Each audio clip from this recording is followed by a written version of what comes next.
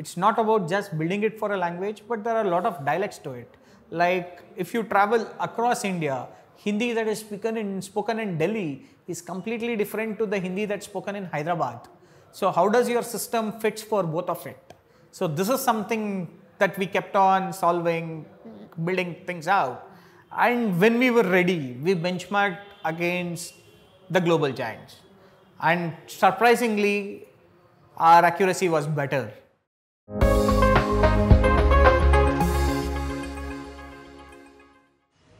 Hey guys, welcome to Backstage with Millionaires. My name is Caleb, and today the guest that we have on the show is Ananth. Thanks for coming on the show, Ananth. Thanks for calling me here. So, Ananth is one of the co founders of a company called Gnani.ai. And as you can probably tell from the name of the company, um, what they've built is an AI powered uh, voice recognition engine. Um, and this engine is being used in industries like the automotive industry, agricultural industry, um, financial industry, media industry. It's pretty much uh, a solution which can be used in, in any industry here in India. And the reason for that is that they're actually taking the languages that people are speaking, and there's so many of them here in India, um, and they're, they're taking the inputs from those languages, the, the, the audio from those languages, and then they're basically translating it into text. Um, and then that text can be used for a variety of different solutions by companies here in India. And things are going really well for them. Uh, about six months ago, they raised their Series A from Samsung Ventures. Um, but things have not always been great for you, Ananth, right? You're, uh, this is your second startup. Um, the first one didn't go so well. Um, so I'd love you to tell me a little bit about that. Um, but even before that, just tell me how did you how did you even discover entrepreneurship? How did you realize that you wanted to be an entrepreneur? Okay, so my journey with entrepreneurship starts way back in 2012 or probably late 2012. But uh, I always wanted to get into entrepreneurship, build business, go behind the thing and build out something for the country. Do you, do you come from a business family? No, I don't come from a business family, but I've been super impressed with my cousins in the US. And they started it out like the first generation kids in US building out a company. Like they are my role models. So I've been seeing them grow last 17 years. So I always wanted to see that why can't I do it in India? And that's how my journey with entrepreneurship started in 2012. So in 2012, the biggest problem in Bangalore was Bangalore was in news all over the world, but not for what it is known, that is technology, but it was in news for a very bad thing, that is garbage disposal in the city and littering in the city. So it is like an everyone's problem, but no one was ready to solve. So a friend of mine and couple of friends decided, why don't we solve it? If not us, who then? So that's how we started off a journey called a company called 300 Feet Eco Solutions. The whole idea was the biggest problem that people here in India was facing, especially in the commercial places, is there is no place to throw your garbage. So people used to litter it across. So we said, why don't we strategically put 300 feet, dustbins at every 300 feet that's like an average walking time. 300 feet can be walked in a minute or so. So you have a dustbin right there for every minute. So this was the idea. We did a very big pilot. Uh, we installed 500 dustbins in uh, the Jayanagar shopping complex area, which is like one of the most popular suburbs in uh, Bangalore. So we did that, and the results were amazing. We could transform that particular area across. But the biggest problem that we had is like, how do you scale this solution across the country? across the city and in a financially sustainable model. So we could not find a, even though we are doing pretty okay, but we could not find a solution to scale. Uh, we were trying to bring advertisements on this bins, but India being a conservative company, brands had this inhibitions to advertise, like in the West on the bins. So we had to unfortunately shut it down. Uh, we closed down 300 feet in 2014, uh, but Gnani we started in 2016. We started off in mid 2016. So uh, yes, it was a two two and a half years. Yeah, and what what did you even? I mean, how did you discover this new problem? What was the story there? So uh, this uh, points down like between the journey between my 300 feet and Gnani. So I was always uh, ideating on a lot of things with my co-founder Ganesh, and uh, it was one of our uh, travel to a French village which is around 200 kilometers from uh, Bangalore, called Halali. It's near Gundlupet. They grow turmeric there. And it was in the era of 2015 where you don't have uh, 4G access, you did not have, I mean, internet phone signals were very glitchy in villages, you don't have uh, internet. So we were in his village and they had their crop uh, that was harvested ready to go and sell off in the market. And we asked his dad that where is he going to sell this crop. So his dad said he's coming and selling it in Bangalore because a neighbor sold in Bangalore last week.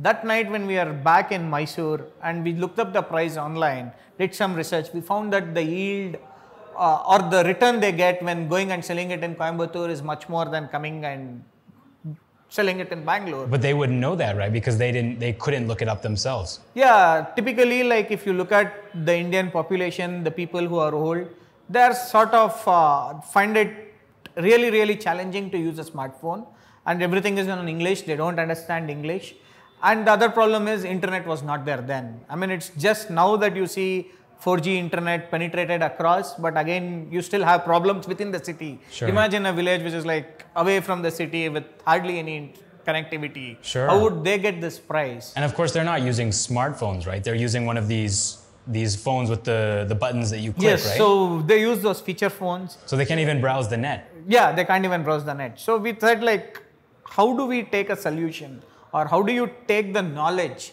I mean, democracy is true access of information to people.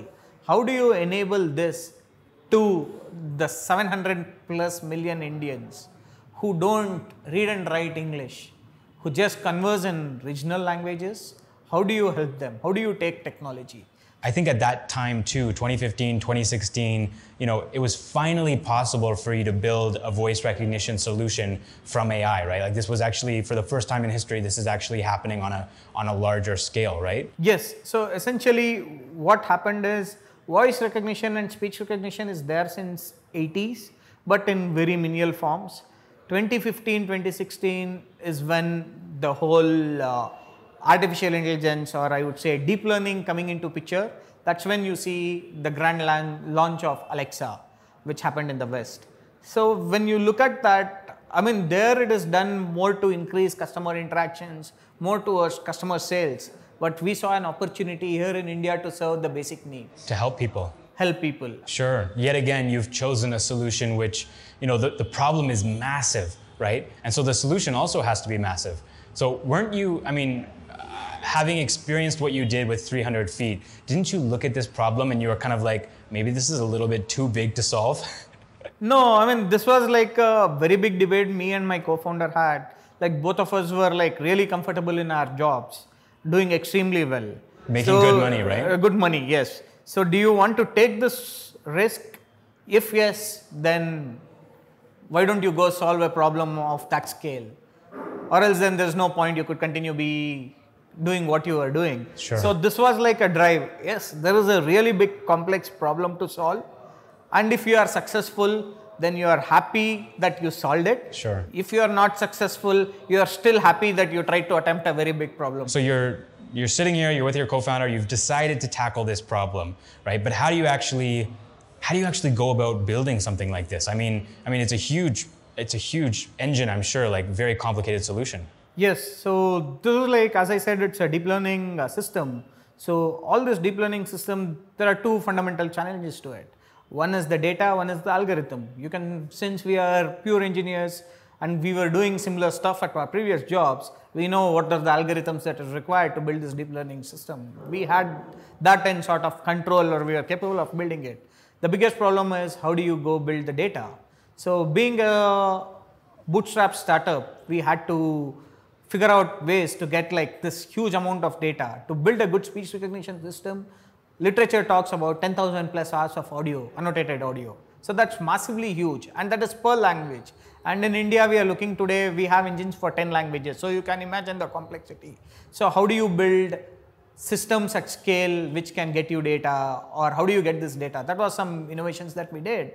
And how do you build engines that handle these languages?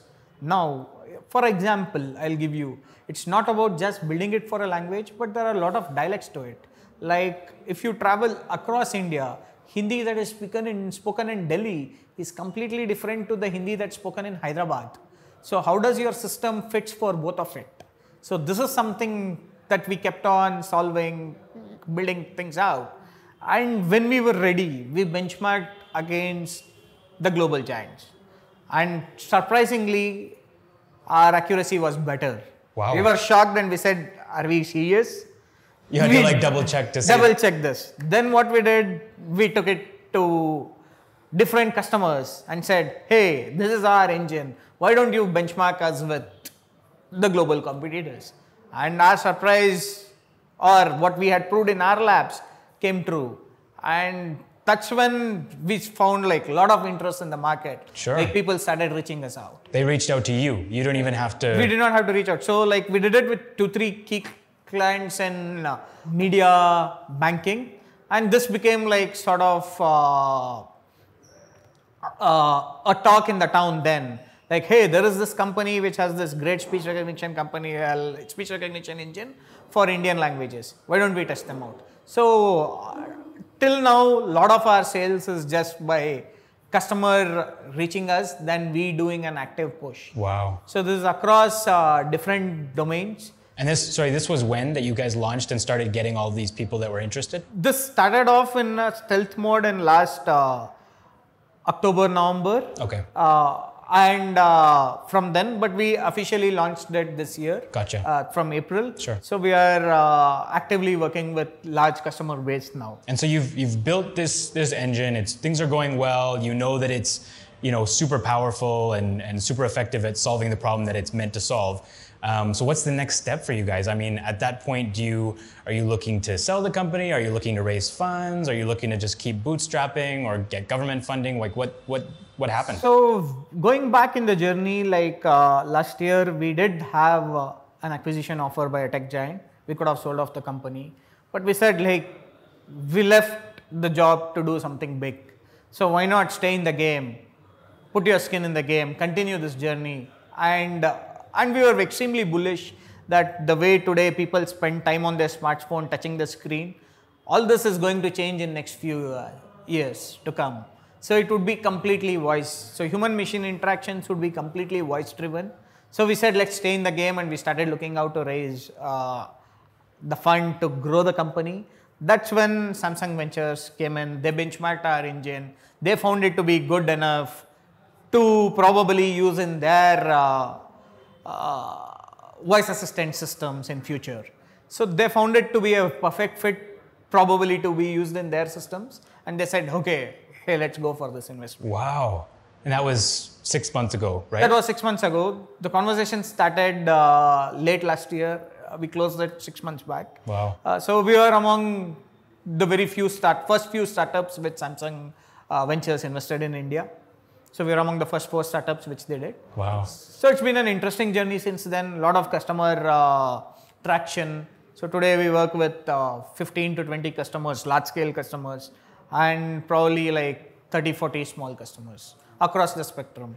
Congratulations. That's that's super awesome to hear. And what does the future for the company look like today? I mean, where where are things? I know you said that probably the future of smartphones is going to change. You know, voice recognition will become more and more important. But what does the future of Gnani.ai look like? Future lies like we are, uh, as I said, we are building uh, enterprise specific voice assistants.